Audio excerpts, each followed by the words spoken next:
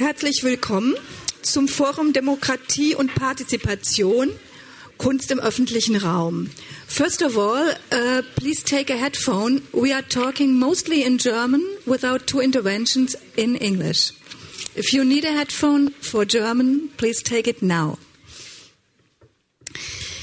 Uh, ich, wir stellen zunächst die Intervenierenden vor, danach Thesen zum Thema Kunst im öffentlichen Raum, zu Demokratie und Partizipation. Es ist sehr viel von Demokratie auf der Tagung die Rede, aber da geht es nicht immer darum, ob die Kunst auch demokratisch organisiert ist. Und darum soll es uns hier in diesem Forum gehen. Zunächst äh, zur Vorstellung. Neben mir links sitzt Kevin Atherton. Er ist bildender Künstler, lehrt am National College of Art and Design in Dublin, hat zahlreiche Arbeiten im öffentlichen Raum realisiert, unter anderem in Brixton, Gloucestershire, Cardiff und London. Links von Kevin Atherton sitzt Leonie Baumann. Leonie Baumann ist Rektorin der Kunsthochschule Berlin-Weißensee. Vormals war sie, war sie jahrelang Geschäftsführerin des neuen Berliner Kunstvereins Neue Gesellschaft für Bildende Kunst. Und davor war sie Beauftragte für Kunst im öffentlichen Raum des Berufsverbandes Bildender Künstler und ist jetzt Vorsitzende des Beratungsausschusses Kunst, dem im Land Berlin höchsten Gremium für Kunst am Bau und Kunst im öffentlichen Raum. Neben Leonie sitzt Hervé Amon-Bechy. Er ist Herausgeber der internationalen Website Ach Public, ist seit 1976 mit Kunst im öffentlichen Raum befasst, war lange Zeit Beauftragter für Kunst im öffentlichen Raum für die 1%-Regelung in Frankreich und Herausgeber des Magazins Le Dossier de l'Art Public. Hervé Amon-Bechy ist Publizist. Ganz rechts von mir also für Sie ganz links außen, sitzt der bildende Künstler Lou Favorit. Lou Favorit ist Künstler und Musiker mit dem Schwerpunkt Erinnerung und er gehört dem Vorstand des Berufsverbandes Bildender Künstler von Berlin an. Also der Organisation, der größten Künstlerorganisation in Berlin, der Berufsverband Bildender Künstler. Zwischen meinem Kollegen Martin Schönfeld, den ich hiermit auch vorgestellt haben mag, sitzt Thorsten Goldberg, ebenfalls bildender Künstler, der vor allem im öffentlichen Raum arbeitet, mit seinen Werken in Berlin und europaweit vertreten ist, Herausgeber von Public Art Wiki, Sprecher der Fachkommission für Kunst im öffentlichen Raum des BBK. Mein Name ist Elfriede Müller, Berufsverband bildender Künstler, Büro für Kunst im öffentlichen Raum. Nun kommen wir zu den Thesen. Ja, wir stellen Ihnen jetzt am Beginn der Veranstaltung einige Thesen zu dieser Veranstaltung, zu dem Thema der Veranstaltung vor. Äh, und dann im Anschluss an diese vor, diesen Vortrag der Thesen werden dann die einzelnen ähm, Mitglieder des Podiums ihre Statements abgeben und dann wird die Möglichkeit des Gespräches geben. Und da wünschen wir natürlich auch, dass Sie vor allem sich auch an dem Gespräch beteiligen. Gut, also zu den Thesen. Die These 1. Die zeitgenössische Kunst steht inmitten gesellschaftlicher Auseinandersetzungen. Bildende Künstler und Künstlerinnen sind mehr und mehr zu politischen Akteuren geworden, die mit ihren Werken Lösungsvorschläge anbieten, die Gesellschaften gerechter zu gestalten und sich für Teilhabe einzusetzen, indem sie den öffentlichen Raum verteidigen und zurückerobern. Der Bereich der Kunst im öffentlichen Raum steht im Zentrum gesellschaftlicher Konflikte um Demokratie und Mitbestimmung. Zweitens. Trotz der Bedrängung des Marktes ist die Kunst im öffentlichen Raum nur indirekt von ihm abhängig und stellt damit einen Freiraum dar, der gegenüber dem Markt zu behaupten und zu gestalten ist. Drittens, die Kunst im öffentlichen Raum, die maßnahmegebundene klassische Kunst am Bau, wie wir sie in vielen europäischen Ländern kennen, und die Maßnahme ungebundene Kunst im Stadtraum, ist Teil der Kulturpolitik von Staat und Gesellschaft. Sie bietet nicht nur eine tägliche Konfrontation ästhetischer Art, sie hat auch einen politischen, sozialen und historischen Hintergrund. Nicht zuletzt deshalb sind beide Kunstformen für den öffentlichen Raum meistens Ergebnis demokratischer Verhandlungsprozesse, die das Mitspracherecht der Nutzer und der Betroffenen einschließt. Viertens. Kunst im öffentlichen Raum in Europa steht heute im Kontext von Kunstvermittlung, Architektur und Stadtgestaltung, politischer Repräsentation mittels Kunst und Kultur, öffentlichen Identitätsdiskursen und von Vermarktungsstrategien des öffentlichen Raums. Fünftens, wie diese Kunst im öffentlichen Raum entsteht und ob sie aus demokratischen Verfahren hervorgeht, ist eine grundlegende Frage, die Aufschluss gibt über den Zustand der Gesellschaften, in denen sie entsteht. In dieser Weise ist die Kunst im öffentlichen Raum Bestandteil einer grundlegenden Kultur des Öffentlichen, einer Kultur des Öffentlichen in der Demokratie. Sechstens. Der Wettbewerb ist auch in der Kunst das Grundprinzip der Chancengleichheit. Für den Kunstwettbewerb gibt es gilt es, Richtlinien und Sicherungen der Qualität des Wettbewerbs zu definieren. Regelmäßige offene Wettbewerbe bieten neuartigen Kunstformen und Kunstansätzen den erforderlichen Spielraum. Achtens. In offenen und nicht offenen Kunstwettbewerben ist die Jury von entscheidender Bedeutung. Preisgerichte für Kunstwettbewerbe sind Orte gesellschaftlicher Auseinandersetzungen. Sie bringen Menschen an einen Tisch, die im beruflichen Alltag selten aufeinandertreffen und sind deshalb immer auch Schulungen demokratischer Auseinandersetzungen. Neuntens. Der Wettbewerb an sich ist die beste Verfahrensform für Kunst im öffentlichen Raum. Offene wie nicht offene, also eingeladene Wettbewerbe, sind eine besondere Form der Kunstförderung, manchmal auch der Förderung von noch unentdeckten Talenten. Zehnte und letzte These. Um die Kunst im öffentlichen Raum der politischen Instrumentalisierung zu entziehen und sie von autoritären Repräsentationsansprüchen zu befreien, ist eine Stärkung des Wettbewerb, Wettbewerbsgedankens auf europäischer bzw. internationaler Ebene notwendig. In welcher Form dies geschehen kann und soll, steht im Zentrum dieser Veranstaltung. Jetzt würde ich Leonie Baumann bitten, mit ihrem Beitrag zu beginnen. Leonie hat eine Präsentation für uns vorbereitet.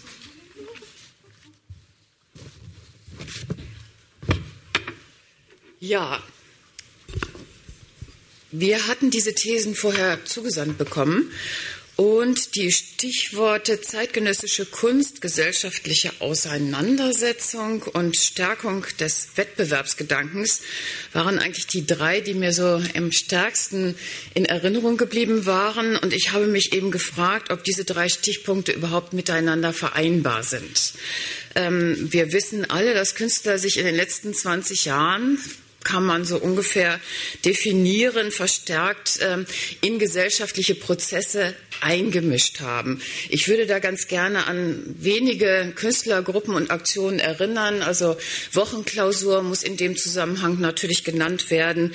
Ähm, mir ähm, selber äh, fiel Volke Köpperling auch noch ein, die zum Beispiel bei den großen Umplanungsprozessen am Alexanderplatz die einzige war, die ein kleines öffentliches Büro dort eingerichtet hatte, um überhaupt Bewohner zu befragen nach ihren Vorstellungen für die Zukunft dieses großen Platzes, der ja eine große Bedeutung hat und alle glücklich waren, dass überhaupt jemand sie fragte.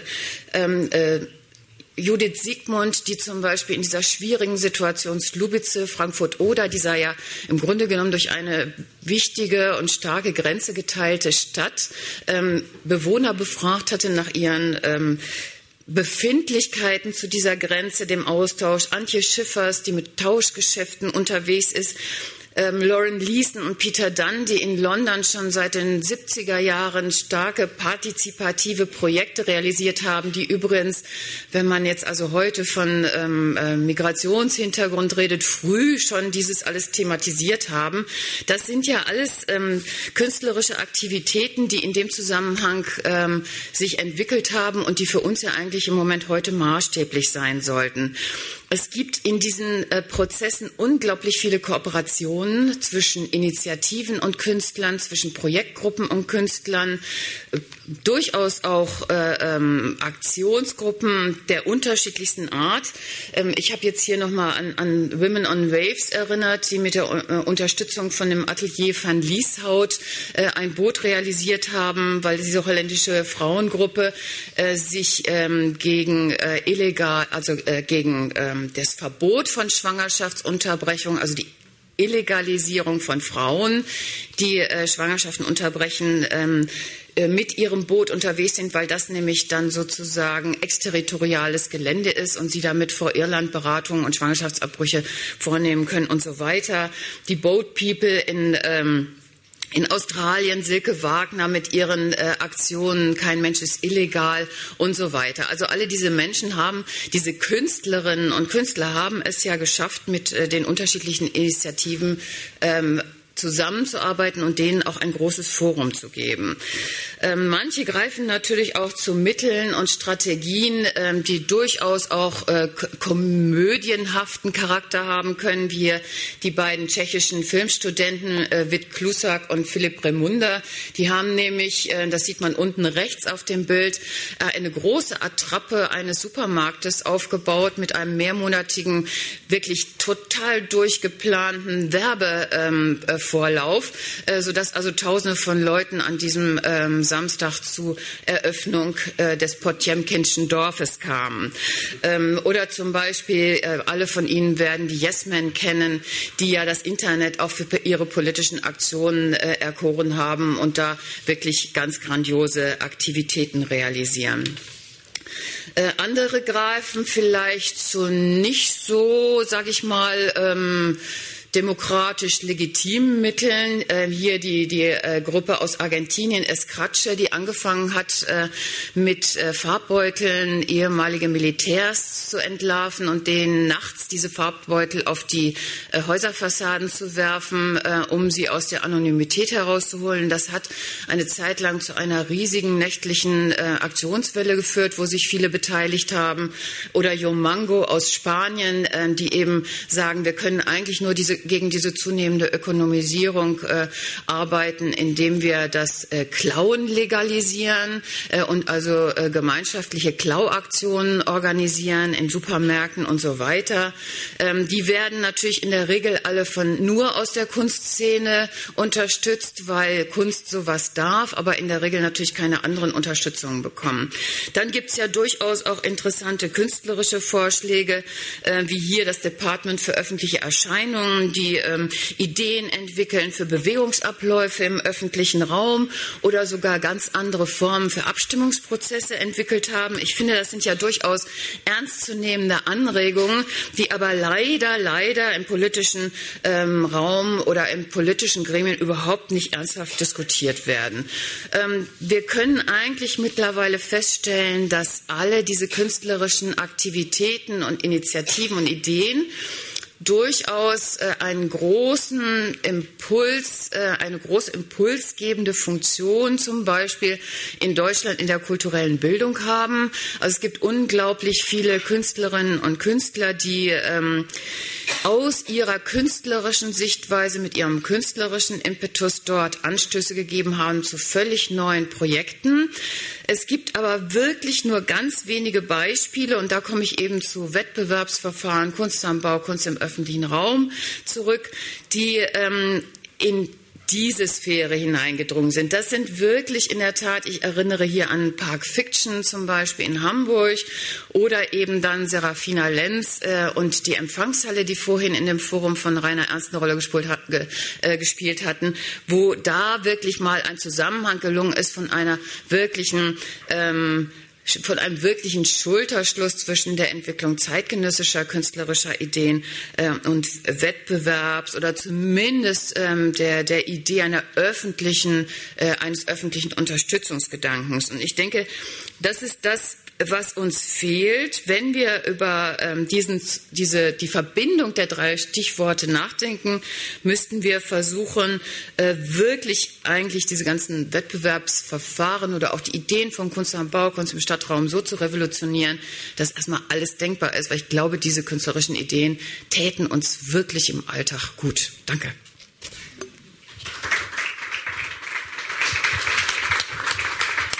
Vielen Dank für diese Anregung, Leonie. Da wir ja in mehreren Gremien gemeinsam sitzen, die angesagt werden, können wir ja beginnen, das durchzusetzen. Ich denke, die Regel in Berlin, die dafür gelten ist, die Anweisung Bau, würde sowas im Prinzip ermöglichen. Es braucht natürlich die politische Überzeugung, da hast du völlig recht.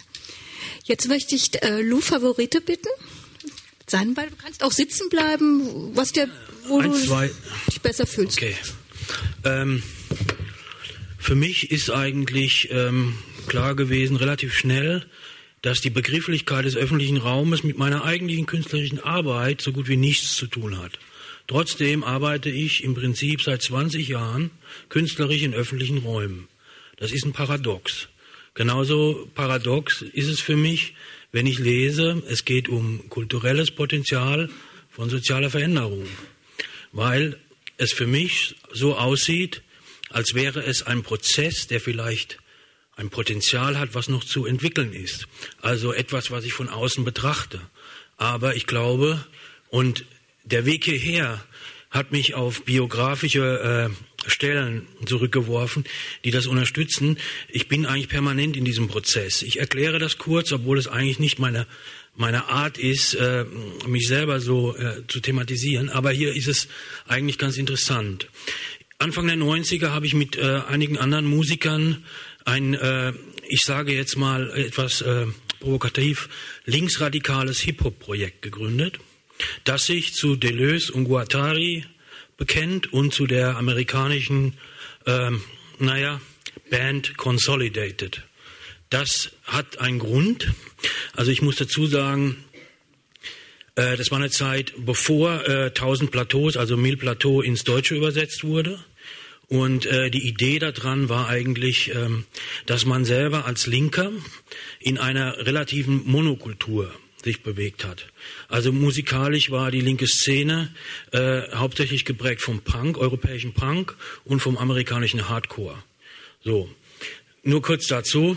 Ähm, die Band hat ähm, relativ äh, viel gemacht und äh, Musik hat sowieso ein anderes Verhältnis zum öffentlichen Raum, wie das die bildende Kunst hat, weil der öffentliche Raum eigentlich automatisch entsteht. Und dann eher die Frage ist, wie wird er gefüllt?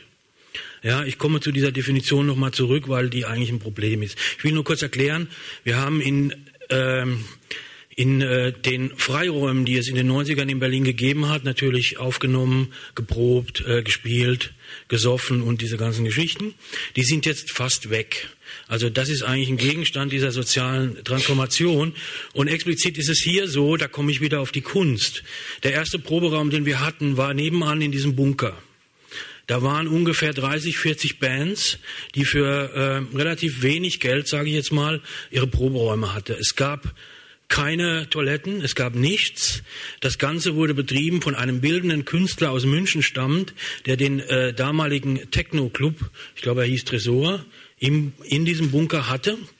Und äh, dieser Typ hat ungefähr zwei Jahre später Konkurs angemeldet und äh, die gesammelten Künstler, die ihre Arbeitsplätze dort hatten, um äh, drei Monatsmieten Kaution geprellt. Also nur so viel mal zu dem Verhältnis Künstler, transformative Prozesse, ja, Kunst, Politik und, und, und. Also das, äh, jetzt komme ich hierher, laufe an diesem Gebäude vorbei und es ist eine, ein Ort geworden, der nicht mehr öffentlich ist in dem Sinne, dass man hingehen kann und vielleicht eine Party feiern oder ein Konzert hören, sondern sehr exklusiv für eine Privatsammlung, ja, hoch äh, exklusiver Kunst, sage ich jetzt mal. Ich war noch nicht drin, weil ich immer noch den Uringeruch der Wehrmacht in der Nase habe von diesem äh, von diesem Gebäude, aber vielleicht mache ich es irgendwann mal.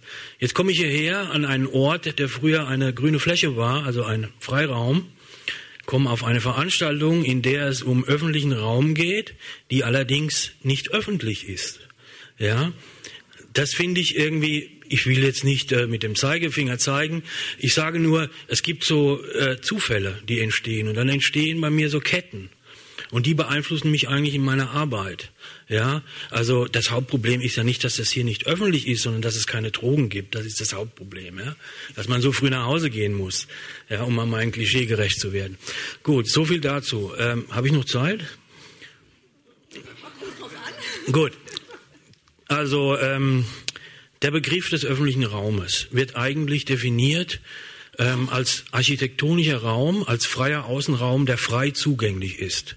Ich muss äh, ein, zwei Sachen dazu sagen, warum dieser Begriff für mich irreführend ist und weil ich und äh, das damit auch zusammenhängt, warum ich eigentlich befürworte, dass es diese europäischen äh, Linien gibt, um eben diesen, Diskussion, diesen Diskurs überhaupt aufrechtzuerhalten und neu zu beleben. Also was heißt das? Der Außenraum oder der, der öffentliche Raum ist äh, frei zugänglich. Da stellt sich doch die Frage, für wen? Wir haben hier eine Ausschreibung, die nennt sich irgendwie für ein Freiheits- und Einheitsdenkmal in Berlin. Da werden Begrifflichkeiten zusammengerührt, wo man sich ganz klar fragen muss, ähm, habt ihr eigentlich noch alle Tassen im Schrank? Ja? Also ein Freiheitsdenkmal mit der Idee einen, eines, einer Einheit einer Volksgruppe zu verbinden in einem Land, ja, das seit der Wende, wie man so schön sagt, über 160 Todesopfer zu beklagen hat, ja, aufgrund von fremdenfeindlichen Übergriffen, mehrere tausend fremdenfeindliche Übergriffe, ja, ein hohes Potenzial an Antisemitismus in der Bevölkerung verbreitet ist, in diesem Zusammenhang so eine Ausschreibung zu machen, ohne dass der Diskurs überhaupt mal aufschreckt, finde ich unglaublich, wirklich. Das muss man wirklich sagen. Und ich kann auch nicht verstehen, dass es Künstlerkollegen gibt, die nun wirklich so dreist sind, sich bei so einem Wettbewerb auch noch zu bewerben. Das verstehe ich einfach nicht. Ja? Also, wenn es diesen, wenn es diese Begrifflichkeit gibt des zugänglichen, frei zugänglichen Raumes, ja, und das ist der öffentliche Raum, dann ist er nicht existent. Ja, wir haben hier Räume, die sind nicht für alle zugänglich. Das muss man einfach sehen.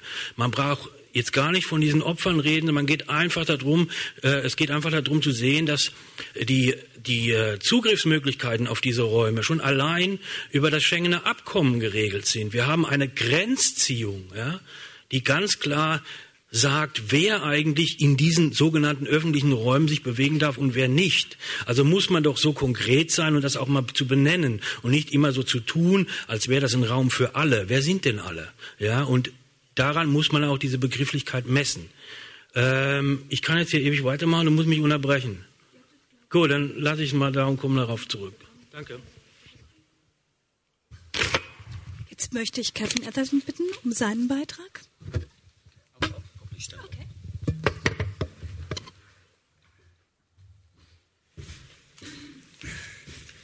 Okay, um, my presentation will be hopefully a mixture of the sort of practical experience and also pose some philosophical questions. I think that public art is, first of all, transformative. It changes the way that we see the space within which we encounter the work. The attraction to me 30 years ago, when I did my first uh, permanently cited public commission, was that the work did the mediation. The work of course, had to be organised by others, but it mediated the space. That, and, and, the work and the way it related to what went on in the space, the people who shared that space, acted as, as, acted as an imaginative trigger to the way that we might consider the space. And 30 years later, you know, and, and thinking about the questions that this session is posing about competitions, for sure, it was simpler then because there was less public art. I remember at the time teaching part time at the Royal College of Art, and, and, it was the early days of collecting staff's achievements for the year for, for that particular year. And I'd said I'd been in this show, I'd done this performance, and I had done this big commission in a school in the East End of London. And I saw the person cross out the school in the East End of London because it didn't rate, because it wasn't at a gallery. So, in lots of ways, you know, I could be nostalgic about those days and, and be naive about uh, the way that I had this situation within which I could make it work. But, but I think now we find ourselves in a different situation where if the commissioning body is too visible, then the, trans- the transformation between the artwork or the art activity and the place can't occur because the space has already been transformed in that it's been organised into, and I'm not talking about walls, but in the way that the event is staged. In many ways, the space has already become an outdoor gallery for the artist to then be brought into. And this is the split between public art and art in public space. And, and I think they are two different things. If, if we privatise the selection procedure itself, then you commit the first mistake. It's privatised public art. How, how, can, how can it be public art if you privatise it? I, I, my experience in public art is based on commissions I've done in the UK and more recently in Ireland. And, and recently I went for a commission organised by Dublin City Council and, you know, of course, I would say this I didn't get the commission, but uh, I would be critical of the process anyway, in that I submitted a proposal and uh, to the council, and I kind of want the council to have an opinion about the proposal. I want them to, to, to, to find it problematic. I want a dialogue between me and the commissioning body. And in, in an email um, communication from Dublin Corporation, I got an email telling me that hopefully soon the panel of experts would return to the council the decision about who would get the commission.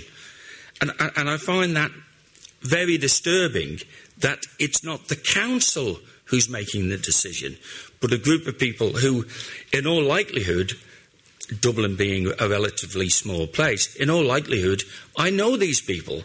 But, a, but I thought I was doing a commission for Dublin City Council if I thought I was doing a commission that would be assessed by a, a, a specialist committee. I would have gone round to the specialist committee's house.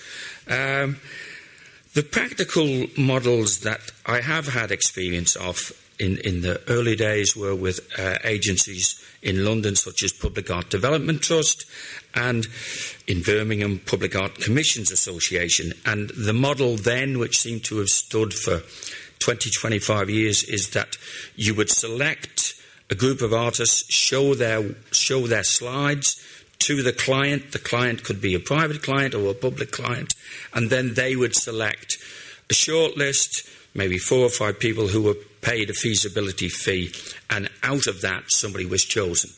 And I don't know, I've been in situations where, uh, you know, I, I've been less than happy with the decisions that were made, but I had to accept that these were the decisions that were being made by the people who were commissioning the work. Uh, and, and the notion of it being too, too privatised, too organised, you know, leads to the, it takes us back to the notion of public art as the turd in the plaza. And, you know, I don't want to be the turd in the plaza, and I don't want to be the artist who's regarded as a shit, you know, as the person who's brought in to do the work. Uh, I think it's about a dialogue uh, I'll give a, a, an example of something that, in many ways, is a going wrong of a proposal, and, and then, I, then I'll finish. I have a sculpture in Cardiff, and it's been there for maybe 25 years, and it was one of these limited competitions. And I always preferred, still prefer a situation where I'm able to present the proposal live. This was this proposal was you submitted the drawings or the maquette, and I submitted a proposal that was to um, create, to make a massive, a, well, a, a three metre diameter mirror polished stainless steel ball, and, and the site was overlooking Cardiff Bay. And I had a series of uh, periscopes and telescopes, uh, or this was the proposal. It did this drawing of uh, with the reflection in the ball and lots of little holes, and I did a cross section about what these these viewing holes would be, and then finally to kind of give them, idea, give them the idea, I did a drawing of a, of a figure, of a man, just doing this, looking through one of the holes. And that evening, uh, the evening of the when the, the panel met for the, uh, to decide who got the commission, I got a phone call saying, uh, you'll be delighted to know you've got the commission, and the commission 20 years ago was quite a big one. It was about £50,000. And, and the panel really liked the idea of all these viewing halls, and uh, they really liked the idea of the bronze figure leaning against the sphere. And I had made lots of bronze uh, figures, and I thought, and I said, What? No, no, no, that's not the idea. That's just a drawing of a man looking through the holes. So I got the commission on the basis that there was a, a, figure as a kind of decoy. And I said, Well, I need the weekend to think about it because that wasn't the idea. But already there was a misunderstanding. And then I thought over the weekend, not just I could do with the money, but this is something that's happening. And I came back and said, Okay, it's a bronze figure, but the telescope goes through his eye and comes out the back. And when you look through it, you look through the back of his head. And if that hadn't have happened, then I wouldn't have produced the work that's there. So it happened through a, a dialogue, through somebody else. You know, it wasn't the thing that was fully formed that was then delivered as the turd in the plaza. Thank you very much.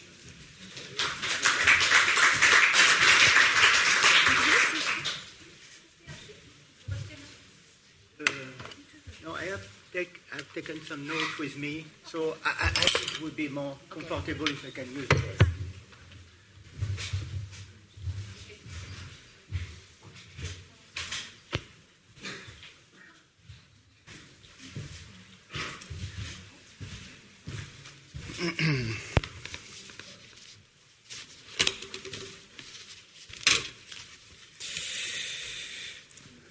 so, uh, public art takes place in a public context in which democratic consideration have a legitimate role to play.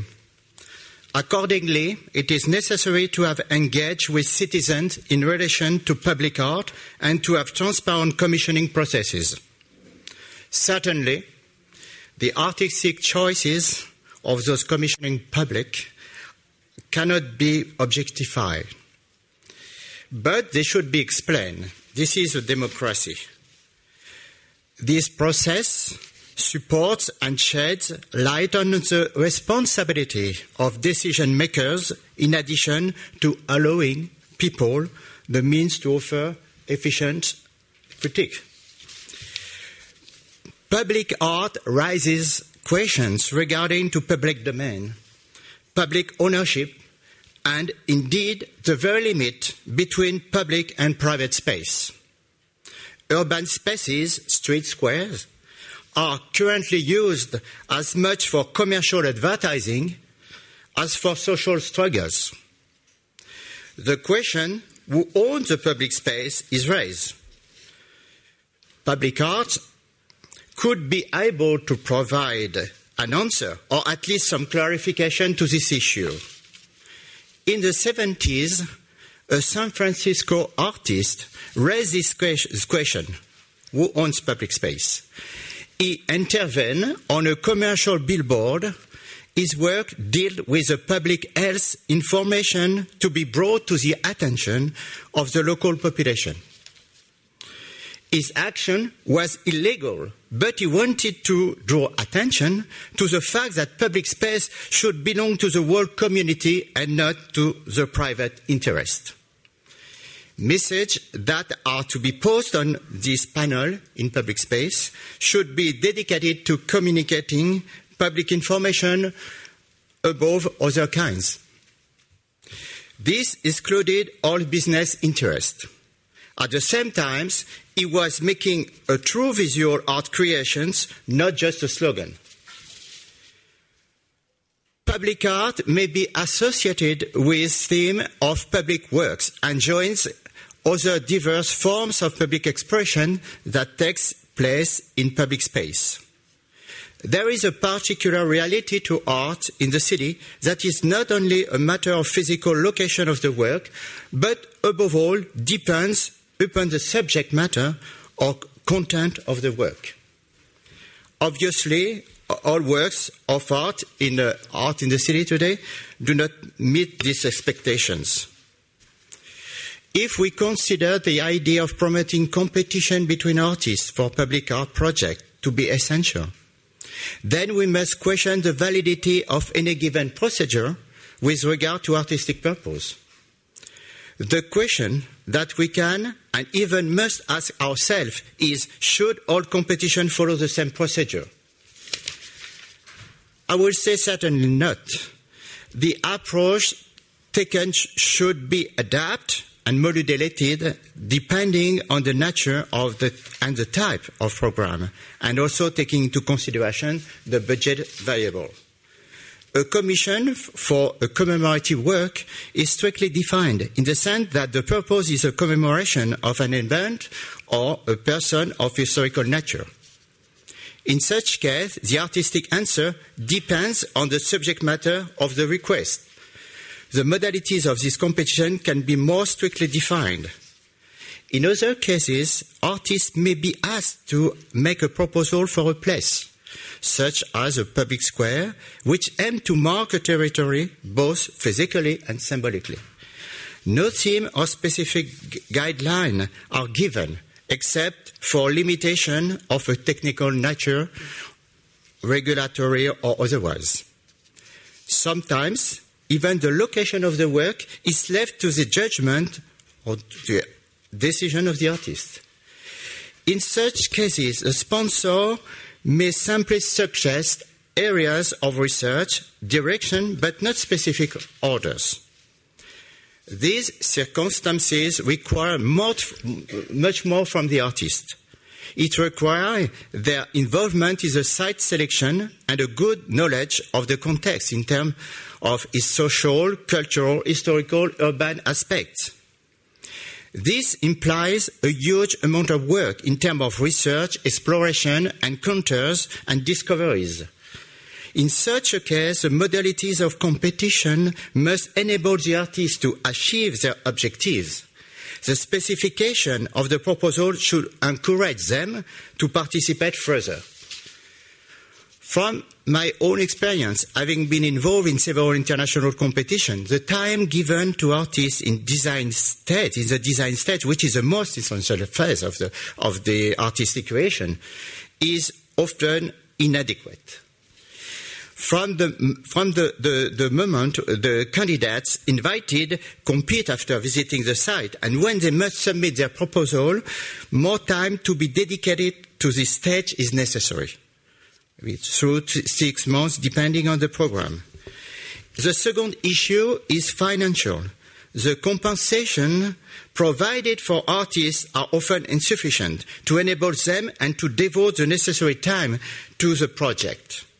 For this reason, some artists recycle or reuse proposals already issued in other circumstances. This takes away the credibility of the competition. The goal of public commissions, in my opinion, to promote the development of artistic creation in the public space.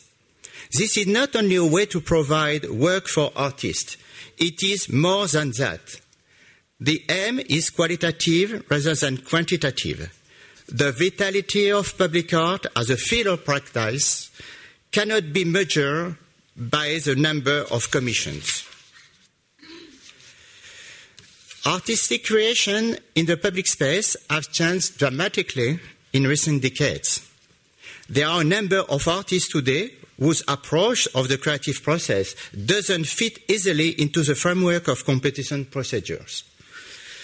These include art forms that are not entirely a finished object and that are characterized by the social, uh, the, uh, by numerous developments in connection with the social life or environment. For example, interactive works, uh, participatory artworks. How can competition make more room for these approaches? In, in practice, it would be difficult to fully implement open competition, even if it was desirable, because of the organizational and funding difficulties it raises. The ability of a jury to examine large number of projects is not without limit. I remember competitions that are uh, that collected over 600 projects. How many days would it take the jury to carefully consider this proposal? In addition, in that in this type of open competition, there is no compensation for the candidates. Given the large number of proposals, it's quite impossible to compensate all artists. This will require huge budget. Many professional artists refuse to participate in such competition. This is even for many of them a matter of principle. Because of that, the most common strategy of this time tends to be competition by invitation based on a preliminary selection of candidates. It is, it is the most appropriate formula, if not the most accurate. Yet it has its limits. Indeed, it promotes, it promotes artists who already have a career in the field of public art. At first, it excluded the emerging artist. The reputation will be an important criterion. This selection process could be described as conservative. The risk is therefore to appeal to the same artist. There is also the issue of specialization of artists. We come to judge the ability of artists based on what they have done previously. So it deems most appropriate to select an artist in a competition for a memorial if it has previously designed project of this type.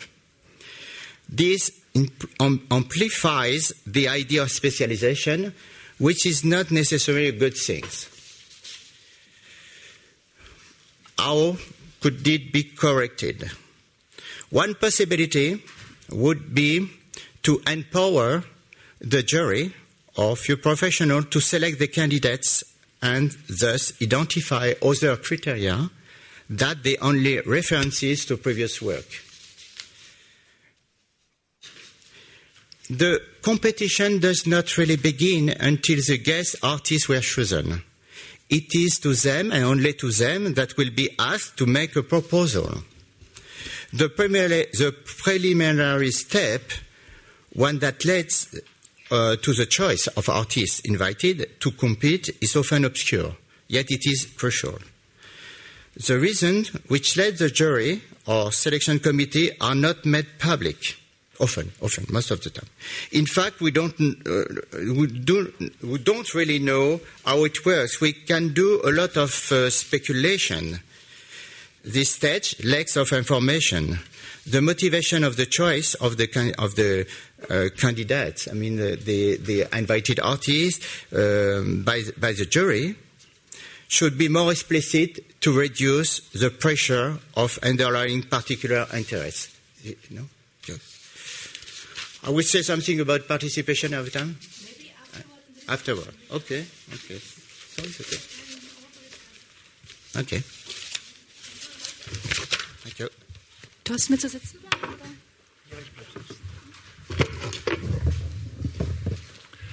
Ich möchte ebenso wie mein Vorredner Hervé Bichy sehr pragmatisch ähm, und sehr praktisch ähm, auf die Verfahrensfragen eingehen und besonders auf diese zehn Punkte, die ähm, Elfriede Müller und Martin ähm, Schönfeld vorher ähm, genannt haben, zu Verfahrensfragen. Ich möchte aber hieraus keine Schlüsse ziehen, sondern mache das aus meiner eigenen Erfahrung ähm, auf beiden Seiten von Wettbewerben, auf der Seite als teilnehmender Künstler und auf der Seite als ähm, vielfacher Juror und ähm, Herausgeber auch.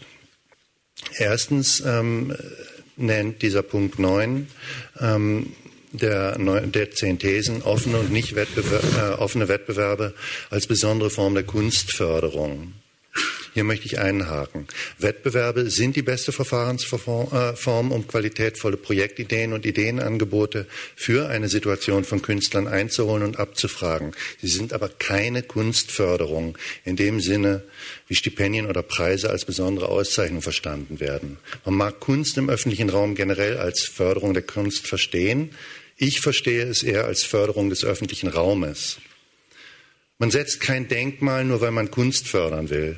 Man beauftragt keine Gestaltung im Stadtraum, um Kunst und Künstler zu fördern, sondern weil der Stadtraum einer Gestaltung bedarf.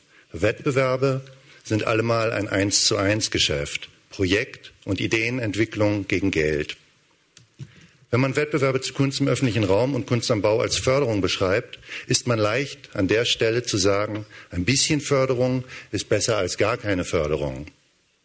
Wenn man dasselbe Verfahren aber als normalen Deal Entwicklung gegen Bezahlung annimmt, dann ist eben dieses bisschen Bezahlung in der Praxis meist unanständig wenig. Zweitens, als Künstler, der selbst europaweit an Wettbewerben Kunst im öffentlichen Raum teilnimmt, spreche ich mich für Verfahren aus, die traditionell sind, die keinerlei Vorleistung in Form von Projektidee oder auch nur Ideenskizze abfragt. Anders bei der, als bei der Präsentation von Kunst in einem Kunstraum geht es im öffentlichen Raum nicht darum, seine eigenen Arbeiten zu präsentieren. Es wird ja kein Künstler aufgestellt oder ausgestellt, sondern eine Situation zu bearbeiten. Es geht darum, etwas Neues, explizit auf die Situation ausgerichtetes zu entwickeln. Dabei kann man nicht auf den über Jahre ähm, ausgearbeiteten Stil oder auf seine Fähigkeiten innerhalb eines Materials zurückgreifen, sondern fängt in der Regel immer bei Null an. Die Entwicklung einer funktionierenden Idee für eine Situation ist also Hauptbestandteil der Wettbewerbsarbeit. Zweistufige Verfahren, die die unbezahlte Vorleistung in der Regel gering halten möchten und nur eine grobe Ideenskizze abfragen, haben in der Praxis für uns als Künstler zufolge, dass die Idee dennoch inhaltlich funktionierend und komplett entwickelt werden muss. Ansonsten würde sie bei einer weiteren Ausarbeitung eventuell gar nicht mehr funktionieren und sowieso wäre sie nicht konkurrenzfähig, wenn sie am Ende, wenn sie nicht zu Ende entwickelt werden würde für den Wettbewerb. Sie wird also in der Regel komplett ausgearbeitet, dann aber nur skizzenhaft dargestellt. Ich halte dies für eine Mogelpackung. Und drittens, ähm, als Künstler geben wir uns eben doch gerne her für autoritäre Repräsentationsansprüche an die Kunst im öffentlichen Raum. Das heißt, wir sind froh, wenn öffentliche Auftraggeber besonders viel Geld zur Verfügung stellen und hinterher eine besonders große Party feiern und das Projekt auch noch besonders weit publizieren. Dass dabei in erster Linie die Politik, der Senator oder wer sonst auch immer, ein öffentlichkeitswirksames Podium für sich gefunden hat und die Kunst selber weniger eine Rolle spielt, das sind wir sehr schnell bereit zu verzeihen, denn wir sind ja glücklich, dass der Kunst im öffentlichen Raum überhaupt ein gewisser Rahmen zugestanden wird. Gerne also etwas Glamour. Die Instrumentalisierung nehmen wir gerne in Kauf, hoffend, dass davon eben nichts auf unser Kunstwerk abfärbt. Das sage ich extra jetzt mal so etwas ähm, provozierend in den Raum. Ja, vielen Dank, Thorsten. Ich denke, wir haben genug Stoff zum Diskutieren. Ich will das jetzt nicht alles zusammenfassen, möchte von vornherein aber sagen, dass wir Sie alle gern mit einbeziehen in die Diskussion. Ich finde die Participants, Participants, wie das schon auf Englisch heißt, sich gar nicht so stark beteiligen bisher an den Diskussionen, die ich mitgemacht habe. Deswegen sind Sie aufgefordert, wenn Sie wollen, gerne gleich was dazu zu sagen. Genauso ist das Podium aufgefordert, auch etwas zu diesen verschiedenen vorgebrachten grundsätzlichen Positionen, aber auch pragmatischen Einwänden der Unterscheidung der Wettbewerbsarten zu formulieren.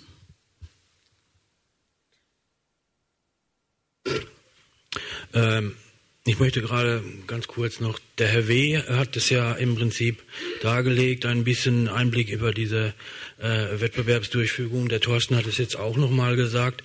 Ich möchte sagen, dass, ähm, was ich ja auch tue, mich im BBK engagieren, ähm, dass ich sehr wohl mir darüber im Klaren bin, dass es eigentlich für die Künstler darum geht, diese Prozesse irgendwie händelbar zu machen.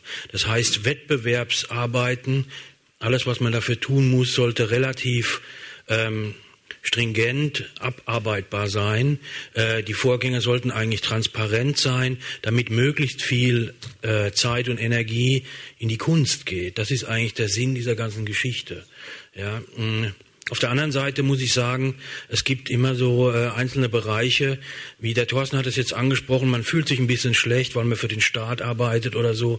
Ich wollte eigentlich mit dieser Problematisierung des Begriffs des öffentlichen Raums genau auf diese äh, komischen Vorstellungen nochmal hinweisen. Wenn man jetzt hergeht und sagt, das Öffentliche entsteht eigentlich überall da, wo es thematisiert wird und dann auch die Räume, dann geht man eben nicht mehr nur von einem architektonischen Raum aus. Es kann ein medialer Raum sein, ein virtueller Raum, jeder Raum kann das sein. Und dann bedeutet auch, dass wenn wir das Öffentliche erst herstellen, ja, und damit meine ich nicht nur die Künstler, sondern natürlich Kunst, die sich vervollkommnet in der Kommunikation darüber. Dann sind wir diejenigen, die das konstruieren. Ja, und wenn überhaupt das irgendjemand in Auftrag gibt, dann ist das die Öffentlichkeit und nicht der Staat. Und äh, wenn man halt also diesen Diskurs über, diesen, über diese Definition des öffentlichen Raumes wirklich versucht, kontinuierlich zu führen, dann kommt man auch zu diesen Ergebnissen, die sich mit diesen Problemen, die hier entstehen, auch in der Auswahl, in der Jurierung der, äh, der Arbeiten, dieses Verhältnis von Knowledge, was man haben muss und diesem Zeitaufwand. Wir haben, ich war in einer Jury, da gab es, äh, ich glaube, 250 Beiträge, die musste man, äh, Be Bewerbungen, die musste man, glaube ich, äh, die wurden präsentiert in einminütigen Vorträgen. Das muss man sich mal vorstellen. Ja, das ist natürlich verrückt. Und diese ganzen Geschichten, glaube ich, dass die durch einen kontinuierlichen Prozessdiskurs besser handelbar sind. Ja, wenn niemand was sagen möchte, sage ich noch mal kurz zu den verschiedenen Einwürfen was, die ja alle sehr spannend sind und alle eigentlich darauf gerichtet, die also die beherrschende Praxis eigentlich zu verbessern. Einerseits inhaltlich subversivere Entwürfe, äh, sowohl auch in der Form als auch im Inhalt, wie Leonie Baumann präsentiert hat, mit in diese Gremien in der, von der öffentlich beauftragten Aufgabenstellung mit reinzunehmen, die formal die Möglichkeit haben, die aber dann doch selten empfohlen werden, nicht weil sie nicht unbedingt eingereicht werden. Es gibt natürlich, es, diese Auslobung für das Einheitsdenkmal war eine der schrecklichsten Auslobungen, die wir in den Jahren hatten, seit ich zumindest in diesem Bereich aktiv bin. Es gab andere Auslobungen, auch eine Auslobung, eine Wettbewerbsaufgabe für Künstlerinnen ist ein demokratischer Prozess der in diversen Gremien, wo auch Künstlerinnen und Künstler drin sitzen, äh, Kunstwissenschaftlerinnen und so weiter, erarbeitet werden. Und je mehr diese, diese Diskussionen geführt werden, je mehr sie sich als Künstlerinnen auch damit einbringen, desto besser kann das Ganze auch werden. Also uns ist sehr daran gelegen, dass diese dass diese Aufgabenstellungen, wie sie aussehen, natürlich auch demokratisierbar sind. Und es gibt sagen wir mal, das Einheits- und Freiheitsdenkmal waren extrem konservativ, wenn nicht äh, Lou Favorite würde sagen reaktionäre Aufgabenstellung, die auch derartig überladen war. Auch eine Jury, die äh, überhaupt nicht fachkompetent war und die auch geplatzt ist, die selbst in den Umgangsformen nicht mal irgendwie zivilisiert wirkte. Und es ist etwas anders, als Herr W. sagte, dass es nicht öffentlich wird, was in der Jury passiert. Es gibt Juryprotokolle. Sind, da steht natürlich nicht immer genau drin, wer wann was gesagt hat, aber es ist nachvollziehbar, wie die Prozesse laufen. Und diese Juryprotokolle sind auch einsehbar. Jetzt habe ich eine Meldung von Doris Koch. Ich glaube, du brauchst ein Mikro wegen der Übersetzung. I want to, uh, in Deutsch ist einfacher. Ähm, ja, also Nee, ich möchte, ich möchte einfach ein paar Fragen stellen zu diesem, äh, was ihr in den Raum gestellt habt, dass Wettbewerb praktisch die Form sein soll, um. Äh, da frage ich mich, was du gerade gesagt hast, ähm, basiert auf, auf diesem repräsentativen Modell auf einem repräsentativen Modell. Wenn ich die Entwicklung, die wir im Moment weltweit haben, anschaue, dann ist es genau das Modell, was im Moment total in Frage steht. Und ja, frage ich mal, was heißt es dann für unseren, für diesen Bereich? Das ist das eine. Das zweite ist, ähm, wenn ich die Entwicklungen angucke, dann sehe ich äh, überall, dass äh, Kooperation gebraucht wird oder Kooperation ein ganz großer Wert ist. Und ich frage mich, wie kann Wettbewerb Kooperation fördern? Und wenn ich diese Beispiele, äh, die genannt wurden, anschaue, ähm, dann würde ich mal sagen, dass ganz viele in einem Wettbewerbskontext, viele künstlerische Praxis ist in einem Wettbewerbskontext nicht kompatibel.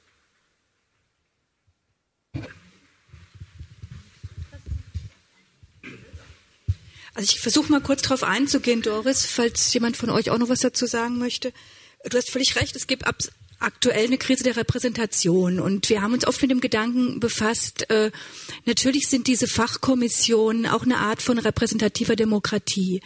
Aber eine repräsentative, die Repräsentation ist deshalb auch in Frage gestellt, weil es halt oft keine Demokratie mehr ist. Weil selbst diese, diese Form der nicht direkten Demokratie, die wir nicht haben, es gibt keine Räterepublik, in der Bundesrepublik, auch in keinem anderen Land. Es gibt eine Infragestellung der Repräsentation und einen Versuch, in verschiedenen, auf verschiedenen Ebenen direkte Demokratie zu praktizieren. Aber es gibt eigentlich kein Land der Welt im Moment, wo das allgemeine Praxis ist. Ich glaube, dass der Kunstbereich, der natürlich ein Teil der Gesellschaft ist, wir versuchen ihn bis zum gewissen Grad vom Markt freizuhalten, von der Verwertung bis zum gewissen Punkt. Wir können natürlich ihn nicht völlig da rausnehmen, aber bis zum gewissen Grad als eine Errungenschaft der Öffentlichkeit zu bewahren. Aber ich denke auch, dass ähm, es schwierig sein wird im Bereich der bildenden Kunst, für, die, für den wir ja alle hier, hier sitzen, und der Musik auch, entschuldige Lu, äh, dass man, wenn man da anfängt, ähm, man kann demokratisieren bis zum gewissen Grad und das ist auch, also das versuchen wir auch in den diversen Wettbewerben und ist immer eine Frage auch des Kräfteverhältnisses. Inwieweit Öffentlichkeiten damit einbezogen werden, wie weit deren Ansichten nicht nur dokumentiert, sondern auch einbezogen werden in Entscheidungsprozesse. Und das ist eigentlich immer auch eine Frage der Auseinandersetzung. Es kann sein, dass bestimmte künstlerische Formen mit Wettbewerben nicht vereinbar sind. Wir würden jetzt selbst keine einfallen. Ich denke da eher, wie Leonie das genannt hat, dass es darum geht, die Bandbreite von dem, auch die Infragestellung von, von bestimmten Sachen mit aufzunehmen in diese Prozesse.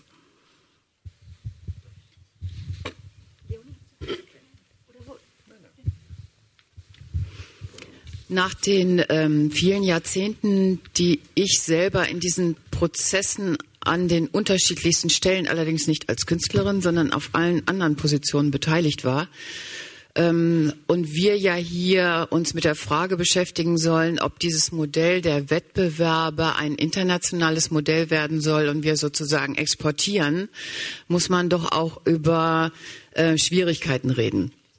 Äh, die Schwierigkeiten sehe ich auf ganz vielen Ebenen. Das fängt damit an, dass eigentlich mal darüber nachgedacht wurde, übrigens auch von Künstlern, mehr äh, integrative beziehungsweise interdisziplinäre Prozesse von Anfang an zwischen Architekten und Künstlern zu installieren, woraus ganz neue Dinge entwickelt werden könnten. Das passiert so gut wie gar nicht. Im Gegenteil. Also nach Jahrzehnten haben wir es immer noch mit Architekten zu tun, die total erstaunt sind, dass es Kunst am Bauregelungen gibt in Deutschland äh, die so tun, als wenn das, was im Wettbewerbswesen der Architekten ja völlig normal auch und akzeptiert ist, äh, für die Kunst überhaupt nicht gilt und eigentlich also auf allen möglichen Schlichen versuchen, diese Regeln außer Kraft zu setzen. Das ist erstmal die Realität. Das heißt, es geht schon immer erstmal mit einer äh, Konfrontation oder zumindest, um das vorsichtig auszudrücken, mit unterschiedlichen Vorstellungen los, der Prozess. Schwierig.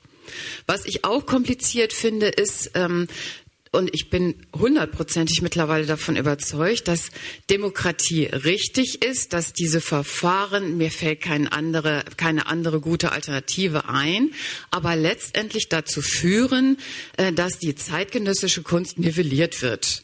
Wir, jede demokratische Diskussion ist ein Austausch von Kompromissen, ist ein Austausch von Positionen und was dabei herauskommt, ist nie das, was eigentlich der Strömung der Entwicklung der zeitgenössischen Kunst entspricht. Im Gegenteil, es gibt sogar so grauenvolle Ergebnisse, insbesondere in Schulzusammenhängen, wenn es darum geht, kindgerechte Kunst am Bau zu realisieren, dass man wirklich nur noch schreiend rauslaufen kann. Das ist die Realität.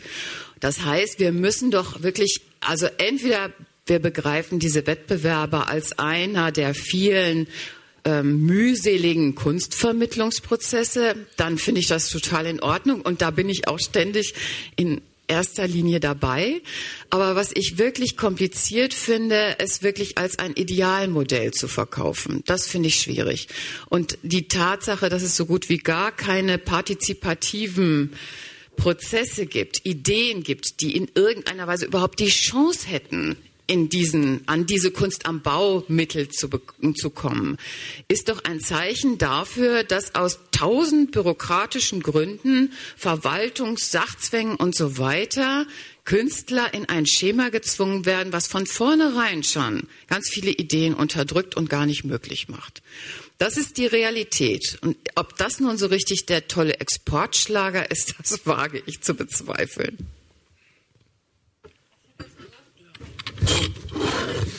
Thorsten ja. Goldberg, du Favorite dann? Ja, ich habe den Einwand ähm, eben auch ähm, so verstanden, dass er sich auf diesen Satz nicht offene und offene Wettbewerbe als besondere Form der Kunstförderung und so weiter sind förderungswürdig verstanden. Und ähm, eine Frage nach ähm, neuen Findungen ähm, und Setzungsformen Kunst im öffentlichen Raum, die heute natürlich sich auch ähm, berechtigterweise vollkommen umdrehen.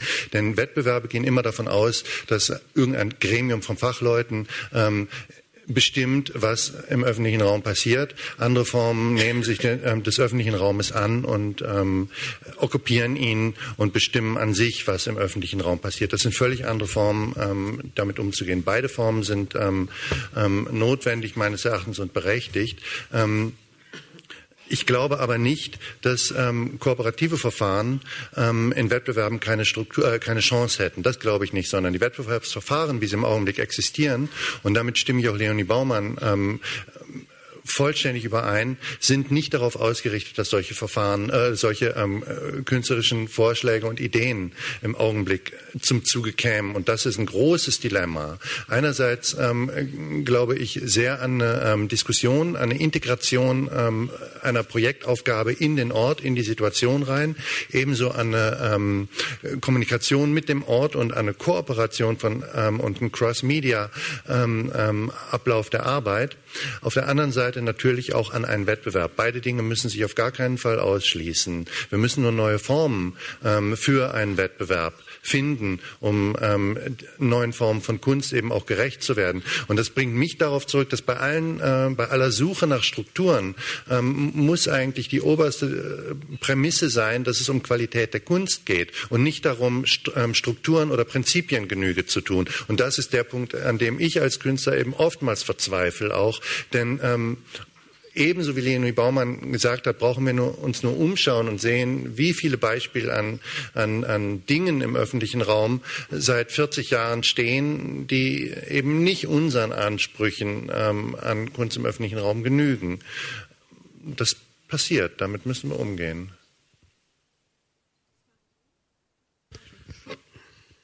Ähm, ganz kurz. Ähm, ich habe, so wie Elfi auch, ähm, ich kann mir im Moment eigentlich nichts vorstellen, was nicht geht. Ja, also an Kunstformen. Äh, weshalb ich nochmal darauf zurückkomme, ist natürlich der Frage der Definition. Ja? Wenn ich sage, äh, das ist irgendwie der berühmte äh, Mann auf dem Pferd, dann kann es natürlich nicht virtuell sein, ja, oder vielleicht doch. Also das heißt die Frage der Definition. Und wenn wir diese Definitions, diesen Diskurs führen, dann kommen wir auch zu diesen Punkten, die momentan in der Verfahrensweise nur schwer möglich sind. Ja, also das fängt ja oft auch da an.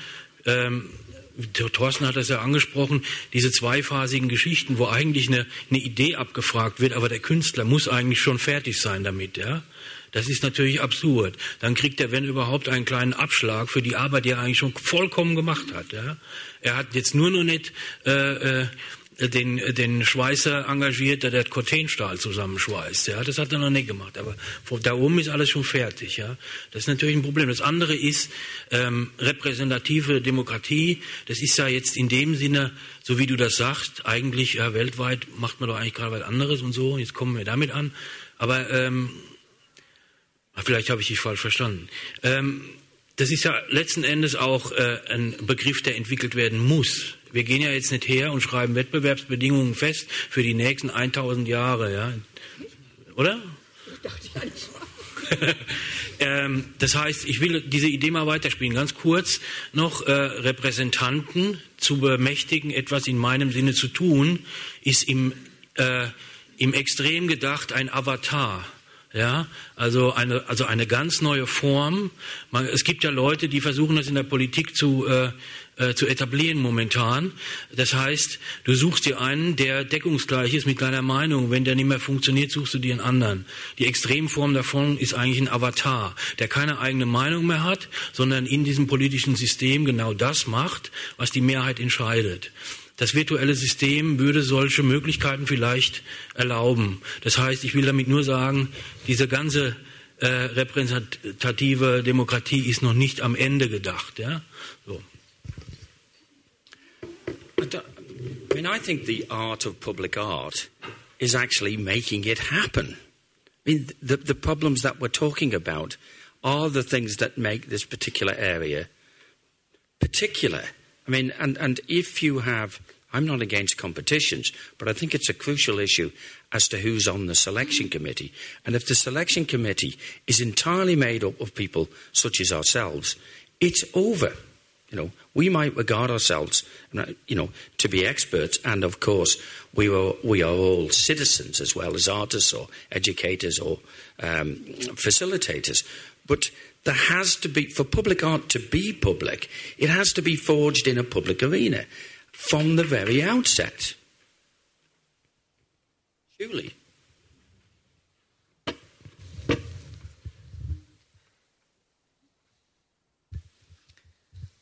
Gibt es noch? ja, dann möchte ich noch kurz was, wenn es keine weiteren Meldungen gibt, möchte ich noch kurz was sagen zu diesen Dingen, die jetzt von Leonid, auch Thorsten noch mal erwähnt wurden, dass die aktuellsten Ausdrücke zeitgenössischer Kunst oft Schwierigkeiten haben, von den Jurys entschieden zu werden. Wir kennen das mit Leonid zusammen. Wir sind oft, äh, ich als Sachverständige, als Jurorin in vielen Jurys, auch in Ausschüssen. Ich muss sagen, es gibt da wie überall im Leben und in der Geschichte eine ungleichzeitige Entwicklung. Rein formal haben wir das die letzten Jahre über durchgesetzt, dass im Land Berlin eigentlich die zeitgenössischsten Formen möglich sind, empfehlbar sind von Jurys aus öffentlichen Geldern. In der Tat ist es so, dass man natürlich der Kompromiss, der darin besteht, meines Erachtens nicht unbedingt das Mittelmaß zu befördern, aber, ein, aber ein, ein Ergebnis einer Diskussion zu haben mit Menschen, die keine Sachverständigen von Kunst sind, eigentlich in Doris Sinne äh, nicht unbedingt repräsentativ sind für irgendwas, sondern eben auch Leute sind, die im Alltag nicht damit befasst sind. Und dass es sehr, sehr wichtig ist, Kevin hat es auch gemeint, wer in den Jurys hockt. Und wenn wir selber da drin sind, wenn wir mitdiskutieren können, und ich denke, ein Teil der Leute, die hier sind, sind das, ist es natürlich auch an uns, diese Überzeugungsarbeit zu leisten und das Ganze durchsetzungsfähig zu machen. Wir haben Partizipation, wir hatten das unheimlich oft in Auslobungen stehen. Dann vom letzten Komma kriegt die Verwaltung immer Schiss. Weil, ja, die Steuergelder, wie, wie, wie rechtfertigen wir das? Oder temporär. Aber es war alles möglich. Und oft ist es so, je höher das angesiedelt ist, ob, ob das bundesweiter Ebene ist, landesweiter Ebene, in den Bezirken zum Beispiel ist manches möglicher an subversiven Kunstformen mit weniger Geld als vielleicht auf Landes- oder staatlicher Ebene. Je weiter höher man kommt und je weiter höher auch die Beträge oft sind, desto schwieriger wird das. Und es hat sehr viel auch mit Überzeugungsarbeit zu tun. Deswegen möchte ich auf diesen demokratischen Charakter nochmal zurückkommen, an dem wir ja alle, alle beteiligt sind. Es ist ja auch so, dass wir selber auch die Demokratie immer wieder durchsetzen müssen, dass die nicht gegeben ist und dass, wenn die erstreiten muss. Und auch im künstlerischen Bereich ist es so. Und ich denke, die möglich, zumindest die formalen Möglichkeiten, die wir haben. Und ich würde mich auch trotzdem, natürlich ist das alles unglaublich viel kritisierenswert. Es gibt unheimlich viel schlechte Kunst am Bau. Es gibt auch viel schlechte Kunst im öffentlichen Raum. Nicht alles Ergebnisse von künstlerischen Wettbewerben, weil alles im öffentlichen Raum gemacht wird. Der ist umstritten, der ist ein, ein Schlachtfeld. Das ist überhaupt keine Frage. Aber ich denke, dass es an uns allen ist, die, die Qualität ist natürlich das Primat dessen, was rauskommen soll bei einem Wettbewerb, ist aber auch genau die, also die Antwort auf einen Ort, wie der gestaltet werden soll, wie mit den Nutzern umzugehen ist, dass es ein Prozess ist, der ich kann mir im Moment, ich kann mir viel vorstellen für eine bessere Gesellschaft, eine andere Welt, die möglich ist und eine demokratische Reform. Aber ich denke, dass wir in diesem Bereich den Prozess weiter demokratisieren könnten. Und ein Ergebnis davon wäre eben, diese Dinge durchzusetzen. Das ist auch eine Frage dessen, was durchgesetzt werden kann. But, but just, just to say that the quality is in the process, not in the product. No, there was not a pre-existing notion of here is a here is a wonderful work of art. Have it. If the process is good, then you get quality. It's it's not pre-existing the process. Ja,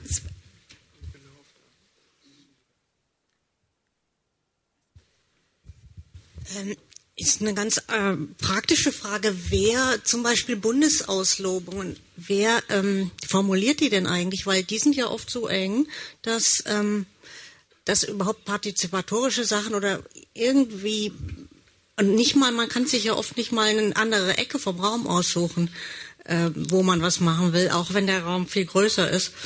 Ähm, wer formuliert die eigentlich? Das sind ja auch wieder Gremien, ne? In der Regel das Bundesamt für Raumordnung. Es gibt ein Gremium beim Bund, aber das wird nicht immer hinzugezogen.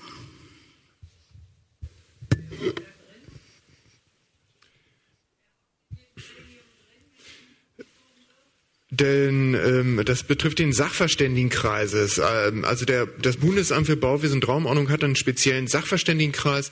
Da sind unter anderem die, Arche, die Künstler äh, Marcel Odenbach, äh, Veronika Kellendorfer drin vertreten, auch Architekten, Jo Schöpfer und Künstlerverbände, Werner Schaub vom Bundesverband Bildender Künstler. Der ist auch, der Sachverständigenkreis ist auch auf der Homepage des Bundesamtes für Bauwesen und Raumordnung mit veröffentlicht. Also den findet man auf der Homepage des Bundesamtes für Bauwesen und Raumordnung es geht um die Frage der Qualität der Verfahren. Also jedes Verfahren, es gibt gute Verfahren, es gibt schlechte Verfahren. Jedes Verfahren braucht Qualität und braucht vernünftige ähm, äh, Grundsätze. Und wenn natürlich in, in einem Wettbewerbsverfahren steht, okay, die Aufgabe des Künstlers, der Künstler oder die Künstlerin soll die Bedeutung des Weltfriedens für die Eroberung der, des Universums oder ich weiß nicht was stehen, okay, dann wissen wir, wohin das geht. Ähm, also da ist es eine Frage der Formulierung und der, der Elaboration, der Ausarbeitung Ausarbeitung des Wettbewerbes, der Qualität des Wettbewerbes im Vorfeld.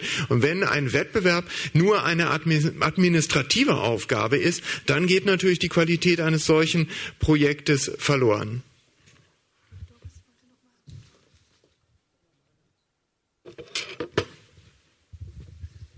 Ich frage jetzt nur mal, wenn ich äh, die Arbeit Wohin Kollege angucke, die ihr vorhin äh, präsentiert habt. Äh, wenn ich das richtig verstanden habe, habt ihr eine, eine lange Recherche, Recherchephase gehabt, aus der eigentlich die Idee entstanden ist dann oder die Form eures, euer Projektes. Bitte Mikro wegen Übersetzung. Der Kollege sitzt. Der Kollege sitzt.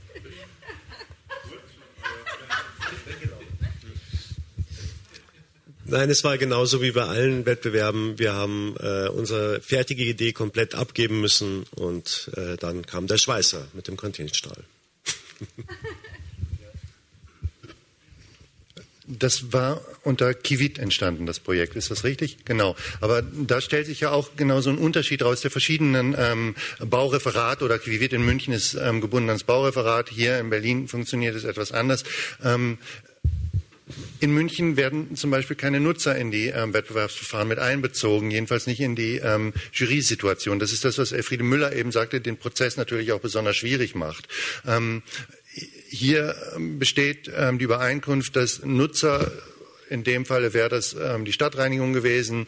In Fällen von Schulen sind es ähm, Lehrer oder Direktoren. In Fällen von Krankenhäusern sind es Ärzte. Immer mit in die ähm, Entscheidungsfindung mit einbezogen werden. Das halte ich prinzipiell auch natürlich für eine gute Sache, macht die Geschichte aber unendlich schwierig, denn man hat mit Leuten zu tun, ähm, die das erste Mal ähm, eine zeitgenössische Kunst im öffentlichen Raumformulierung vor sich sehen und die muss man während eines Verfahrens von zwei, drei, vier, fünf Stunden, sechs Stunden meinetwegen irgendwie ähm, überzeugen. Und im schlechtesten Falle ähm, kriegt man einen blödsinnigen Kompromiss raus von irgendwas, was ähm, so einigermaßen zeitgenössischen künstlerischen Anforderungen ähm, oder Ansprüchen genügt, aber ebenso ähm, auch kompatibel ist mit ähm, einer völligen laienhaften Sicht auf, auf, auf Kunst. Wenn die Wettbewerbe so gestrickt sind, dann ist das wirklich nicht der Weisheit letzter Schluss. Trotzdem halte ich ähm, selber an der Überzeugung fest, dass es gut ist, mit Nutzern zu kommunizieren im Vorfeld und Nutzer mit in die Entscheidungsfindung einzubeziehen und bin nicht der Meinung, wie das in Quivit äh, meinetwegen in München gemacht wird, dass ähm, die komplett rausgenommen werden äh, ähm, aus, aus, aus der Jury-Situation. Nein, das stimmt nicht. Doch, ich bin davon, aber bitte. Also wenn, ähm, wenn man das als schwierig ansieht, ähm, dann haben diese ganzen Wettbewerbsverfahren eigentlich überhaupt gar keinen Sinn mehr, weil das für mich der einzige Grund ist, überhaupt noch solche Verfahren mit zu ähm, initiieren, mitzumachen und auch mit zu formen in gewisser Weise. Weil, wie Kevin schon sagt, der, dieser Prozess der Auseinandersetzung, der Prozess der Diskussion, wir haben das ja auf den unterschiedlichsten Ebenen, ob das Denkmalprozesse äh, waren, ob das ähm, Erinnerungszeichen waren, ob das äh, auch äh, diese sogenannte kindgerechte Kunst, die Diskussion darum, nur deswegen macht es Sinn, sich überhaupt in diese Verfahren zu begeben, weil das eigentlich der einzige Aspekt ist, der noch Sinn macht. Äh, das ist das, was ich unter Kunstvermittlung begreife und wo es überhaupt eine Auseinandersetzung über Kunst geht. Ich würde sehr vorsichtig mit dem Begriff Qualität der Kunst umgehen. Ähm, also sowieso, aber in Kunst am Bau oder Kunst im Stadtraumprozessen noch viel vorsichtiger.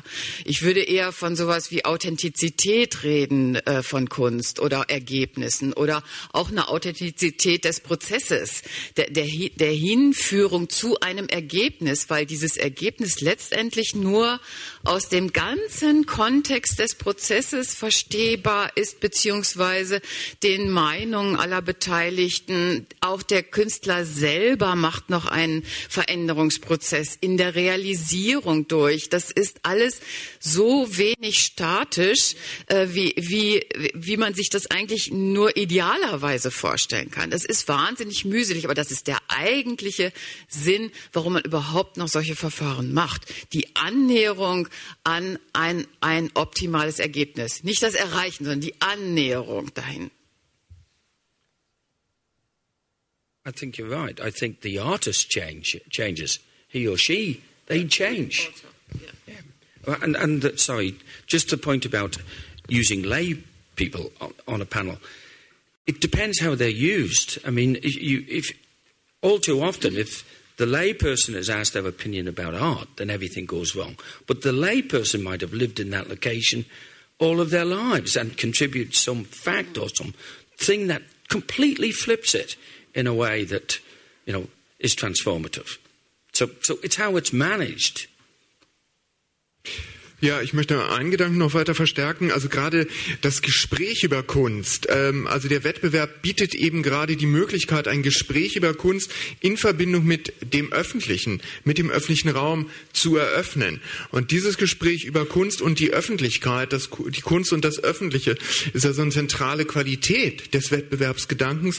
Und die geht es einfach darum zu stärken. Und ich denke, dass dafür eben gerade auch ein offener Wettbewerb ein großes Potenzial an Vermittlung von Kunst, von zeitgenössischen künstlerischen Auseinandersetzungsformen mit dem, Öffentlich mit dem Öffentlichen bietet. Wenn man natürlich einen offenen Wettbewerb nur als eine Pseudo, ähm, ähm, einen, einen, einen vorgespielten Demokratieersatz durchführt, wie das in, in dem Fall des äh, schon angesprochenen Beispiels vom Einheits- und Freiheitsdenkmal in Berlin war, dann kann natürlich damit wenig angestoßen werden. Aber wenn man Demokratie in diesem Prozess eines offenen Wettbewerbes zulässt und wünscht und das auch entsprechend einbindet, dann kommt ein offener Wettbewerb auch entsprechend zum Tragen, sprich äh, Gespräch, Diskurs über Kunst und Kunst im Verhältnis zum Öffentlichen zu ermöglichen. Und das, darum geht es mit äh, den Wettbewerben. Das ist der, das Ziel von Wettbewerben. Und ich denke, das muss man weiter verstärken und weiter qualifizieren. Ich habe jetzt von Anke ein Zeichen bekommen, dass wir zu Ende kommen sollen. Habe noch eine äh, Wortmeldung von Luke. Ich wollte noch eine kurze Sache sagen, ähm, weil das vorhin angesprochen wurde. Dieser öffentliche Raum, ich sag mal Außenraum dazu, ja, um den gibt es eigentlich enorme Konkurrenz.